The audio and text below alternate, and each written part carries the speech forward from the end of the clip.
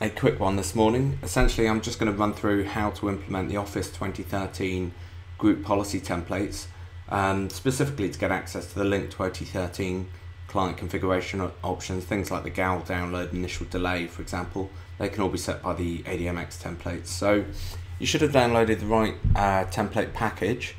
Um, so you can see, for example, I've got the 64-bit one already downloaded. So I'm going to extract that. We'll accept the license agreement.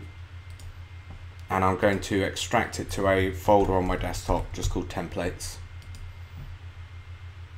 There we go, all done. So in there, we'll see we have our ADMX templates, which are all there. And I'm going to place them into the central store uh, on the sysvol volume on my domain controller. It's very easy to do.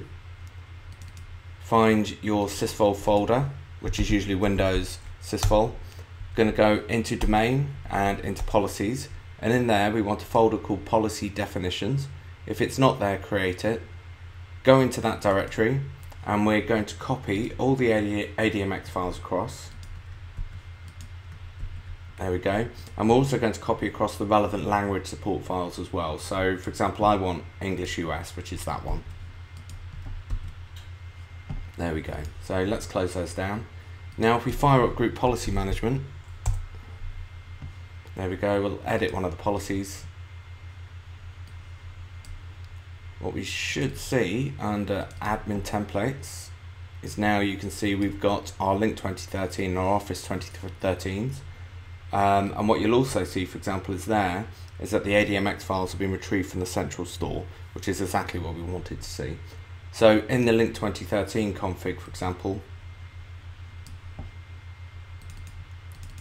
you'll see the options there for the trusted domain list which is a useful one and also the global address book download initial delay which is the one I was specifically asked about. So there you go. That gets you access to those policies. I hope that was helpful